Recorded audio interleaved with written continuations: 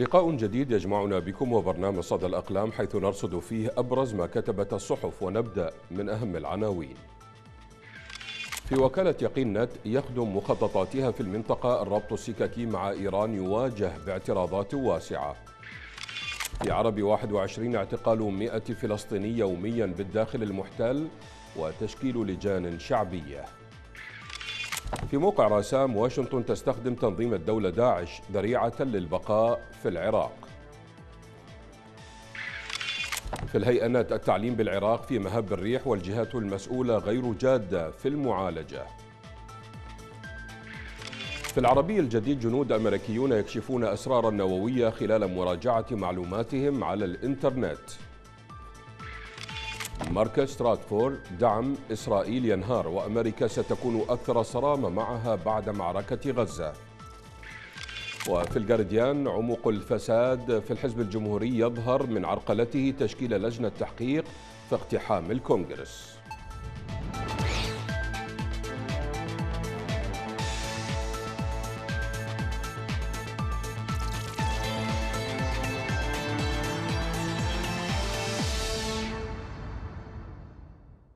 السلام عليكم. دعت قيادة انتفاضة تشرين جماهيرها في كل المحافظات إلى التظاهر في بغداد يوم الخامس والعشرين من أيار للمطالبة عن كشف قتلة المتظاهرين ومحاكمتهم وكان آخر من قتل من قيادة التظاهرات هو الناشط إيهاب الوزني الذي اغتالته الميليشيات في مدينة كربلاء. لقد كانت استجابة جماهير انتفاضة تشرين جيدة ولبت الدعوة على أفضل وجه حيث كان ميدان التحرير في العاصمة بغداد يعج بالمتظاهرين منذ بداية يوم الخامس والعشرين من أيار وكذلك في ساحة النسور وسط بغداد وكالعادة استخدمت القوات الأمنية القوة المفرطة والرصاص الحي ضد المتظاهرين. راح ضحيته عشرات الجرحى والشهداء. ورغم استخدام القوة إلا أن المتظاهرين كانوا صامدين ومصرين على تحقيق كل مطالبهم. إن المتابع للشأن العراقي وعن قرب أصبح على قناعة تامة بأن انتفاضة تشرين قدمت نفسها كنظام سياسي بديل للنظام الطائفي الحالي من خلال مشروعها السياسي وإصرارها على تنفيذه رغم كل التضحيات التي قدمتها ورغم كل القمع الذي واجهته. خصوصا وأن حاضنتها الشعبية بدأت تكبر وتتوسع لتشمل أغلب الجغرافيا العراقية وبكل تنوعاتها المذهبية والعرقية. فعلى المجتمع الدولي أن يتعامل معها ككيان سياسي بديل للسلطة الحاكمة في العراق لما تحمله من مشروع ورؤية واضحة عن الدولة وإدارتها ومؤسساتها. وعلى السلطة الحاكمة في العراق وجميع أحزابها أن تدرك جيدا بأن القتل والتهديد لن يفك من عزيمة رجال الانتفاضة وقد جربوا سابقا ولم يستطيعوا. تحقيق مآربهم في تفكيك الانتفاضة وتشتيت قيادتها سواء بالتهديد أو بالترغيب من خلال المال الفاسد أو منح مناصب لبعض رجالاتها ليكمموا أفواه البقية وأن عليهم أن يدركوا بأن العدالة والمحاكم تنتظرهم على ما اقترفت أيديهم من إجرام ضد المتظاهرين سواء في المحاكم الدولية أو في القضاء والمحاكم المحلية العراقية. وإن كل ما سرق من المال العام سوف يعود إلى خزينة الدولة دون نقصان. أما القوات الأمنية فعليها الانحياز للشعب والمتظاهرين في نفس الوقت ولا تتورط بدماء إخوانهم الأبرياء الذين يحملون هم العراق ومواجهة أعدائه بصدور عارية. التأكيد على رفض العملية السياسية القائمة على المحاصصة الطائفية والحزبية التي دمرت العراق وأوصلته إلى ما لا يحمد عقباه من قتل وفساد وتهجير للسكان وتغيير للديموغرافيا الذي تعمل عليه الميليشيات الطائفية خصوصا في المناطق المنكوبة لهذا رفع المتظاهرون شعار الشعب يريد إسقاط النظام.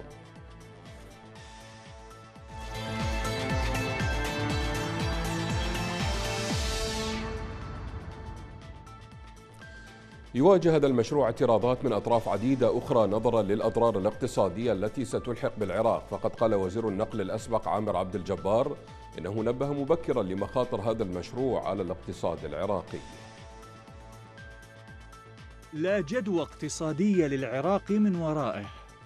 يهمش ميناء الفاو ويخدم السياسات الإيرانية في كل من العراق وسوريا علاوة على الكلف الباهظة التي يتحملها العراق لإنجازه. هذا ما أجمع عليه الخبراء والمختصون في تقييمهم لمشروع الربط السككي مع إيران والذي تصر حكومة الكاظم على السير قدما لتحقيقه. ففيما يخطو مشروع ميناء الفاو خطوة إلى الأمام وخطوات إلى الخلف مصطدما بالعديد من العقبات أعلن رئيس الوزراء الحالي مصطفى الكاظمي الشهر الجاري موافقة حكومته على اتفاقية خط السكك الحديد بين مدينتي البصرة والشلامج في الجانب الإيراني الذي سيمتد لاحقا إلى الموانئ السورية وأن المفاوضات مع إيران وصلت مراحلها النهائية. ودأب المسؤولون العراقيون على الترويج لمشاريع إيران بالقول إنها جاءت في صالح العراق. ففي تغريدة له على موقع تويتر قال الكاظمي إن هذا المشروع سيصل العراق بشمال الصين وسيخلق فرص عمل كثيرة. لكن العديد من الشخصيات والمراكز المتخصصة لم تجد فرص عمل مهمة في قطار يمر بالعراق في طريقه إلى سوريا. فيما وصفه موقع نشرة الإعمار الدولية GCR البريطاني بأنه وسيلة لتقريب إيران من سوريا. الموانئ العراقية ستحرم من عوائد وأجور السفن والوكالات والخدمات البحرية ودعا وزير النقل في تصريح صحفي الحكومة العراقية أن تطالب إيران خلال المفاوضات بإعادة منطقة شط العرب للعراق. وأن تفتح منافذ المياه التي أغلقتها على الأنهار العراقية كشرط لمنحها الربط السككي.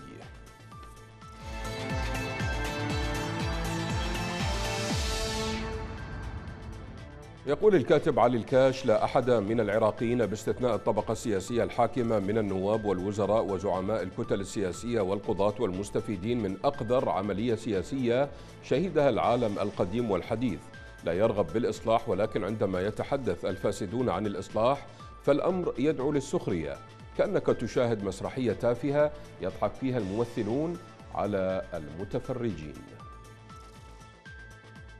الفساد هو كينونية النظام القائم في العراق فهو بنية النظام ويبدأ من أعلى الهرم المتمثل بالسلطات الثلاث وينتهي عند أصغر عنصر ولائي في الحشد الشعبي. وإذا كان رئيس الجمهورية وربيبه رئيس الوزراء والمدعي العام وجميع القضاة والوزراء والنواب بلا استثناء فاسدين فمن يستطيع أن يحارب الفساد؟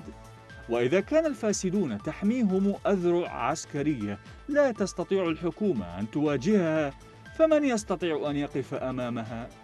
وإذا كان رئيس تحالف الفتح هادي العامري يقول بأنه ابن أبوه القاضي الذي لا يخضع لمشيئته فأي قاض يجسر على فتح ملفات الفساد وإذا كانت هيئة النزاهة مفصلة حسب قياس الحصص الطائفية وكل حزب له ممثل فيها فهل تستطيع أن تنفذ مهماتها بصورة صحيحة؟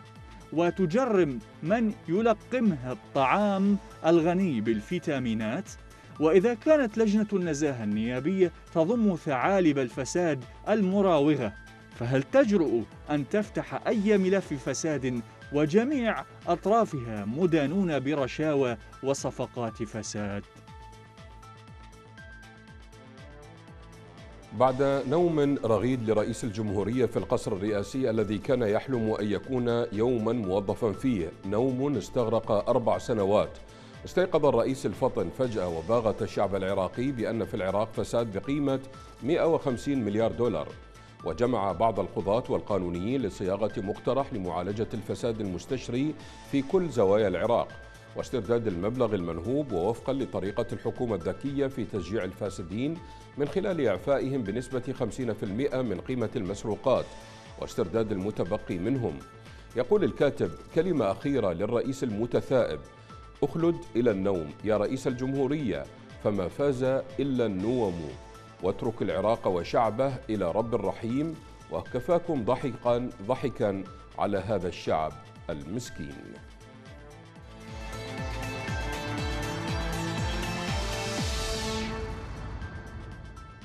لم يتم عرض أي قانون للتطبيع على التصويت في البرلمان التونسي لكن ما حصل هو تعطيل مسار مناقشته في اللجان. والامتحان القادم هو التالي. هل سيتم منح قانون تجريم التطبيع إمكانية تجاوز اللجان إلى الجلسة العامة؟ إذ يبدو أن المناورات ستتركز هناك أو ستتركز هناك تحديداً.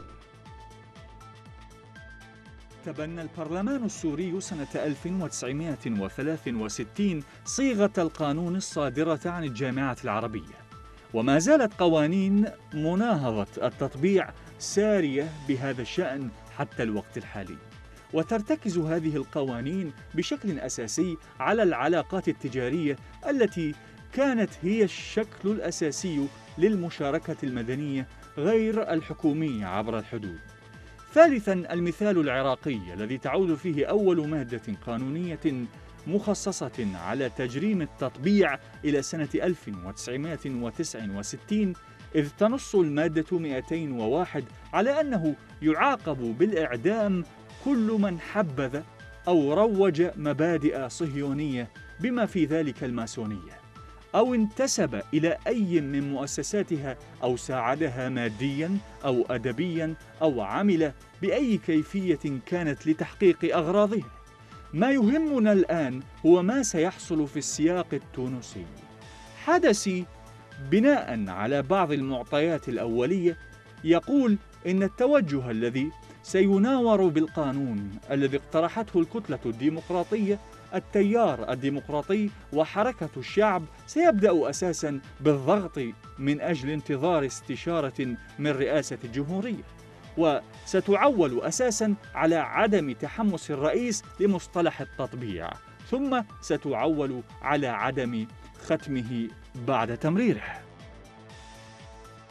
سيكون اختبارا قويا للرئاسة التونسية ومن الواضح أن فخ عدم تمريره سيعود بالوبال على صورة الرئيس الذي تمسك دائما بالتأكيد على مبدأ تخوين أي بمعنى إنكار للحق الفلسطيني.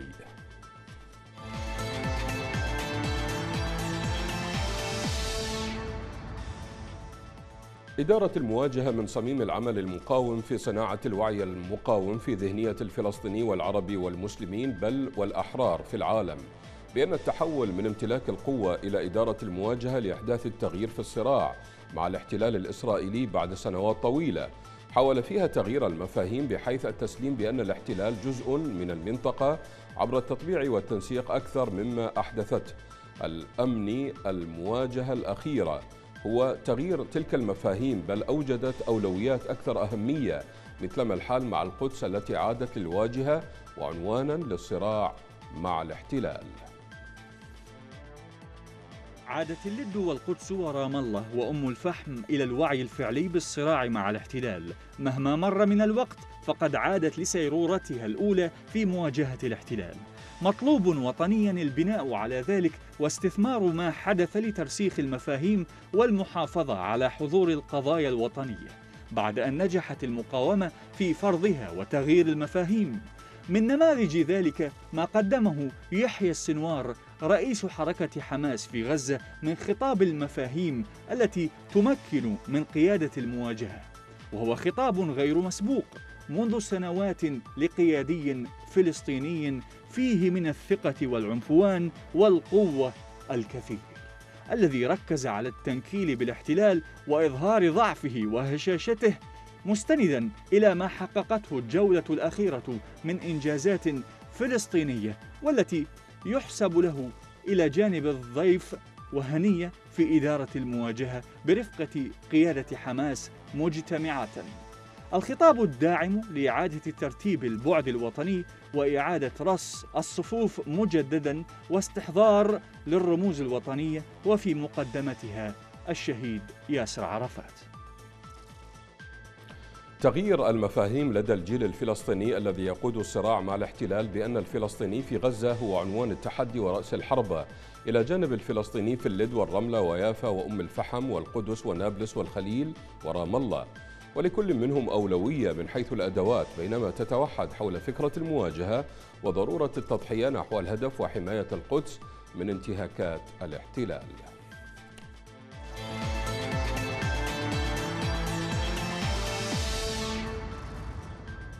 بدأ علي صالح مقالته في صحيفة القدس العربي بفقرات من افتتاحية صحيفة هارتس أصل إسرائيلية تقول الصحيفة في افتتاحيتها إننا نتعرض لحرب لسنا من نديرها وبالتأكيد لسنا من ينهيها خاصة أن المدن العربية في إسرائيل فاجأت الجميع بهذه الثورة العارمة ضدنا بعد أن كنا نظن أنهم فقدوا بوصلتهم الفلسطينية. إنهم فعلا أصحاب الأرض ومن غير ومن غير أصحاب الأرض يدافع عنها بنفسه وماله وأولاده بهذه الشراسة وهذا الكبرياء والتحدي. أهمية في هذه الجولة من القتال هي المصداقية التي تحلت بها المقاومة بكل أطيافها وجعلت جماهير القدس والضفة والداخل الفلسطيني تهتف باسمها. فقد صدقت بما وعدت به وهي التي حددت سير المعركة وساعة بدئها. فهي التي صنعت الفعل وتركت لإسرائيل رد الفعل وهذا شيء غير معهود.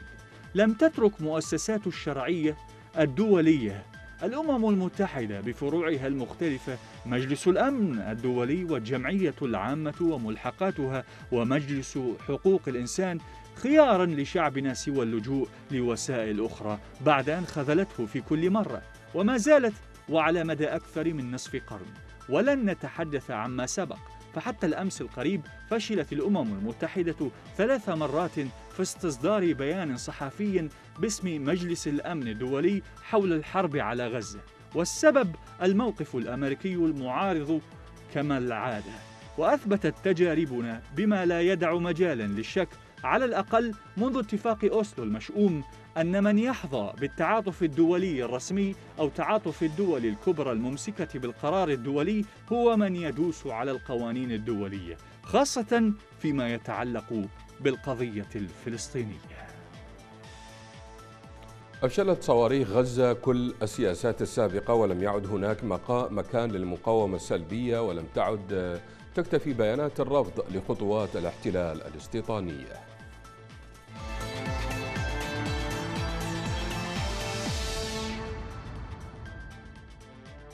الفلسطيني محمد الحديد استيقظ على مجزرة طالت عائلته ولم يتبقى له سوى طفله عمر إذ أيقظه انفجار ضخم جدا هز مخيم الشاطئ للاجئين الفلسطينيين غربي مدينة غزة. هذا الانفجار كأنه وقع في قلبه ولم يدري بداية أن صاروخا سقط على منزل شقيق زوجته المكون من ثلاثة طوابق وحاله وغالبية من في المنزل إلى رماد. مشى صادم بالنسبة لأب ودع أطفاله الذين خرجوا لساعة من أجل الترويج عن أنفسهم. يقول الحديدي الذي لم يتبقى له سوى طفله الصغير عمر كيف لغفوة قصيرة أن تكون الفاصلة في حياتك؟ فتنام ولديك عائلة وتستيقظ وحيدا بلا أحد إلا عمر.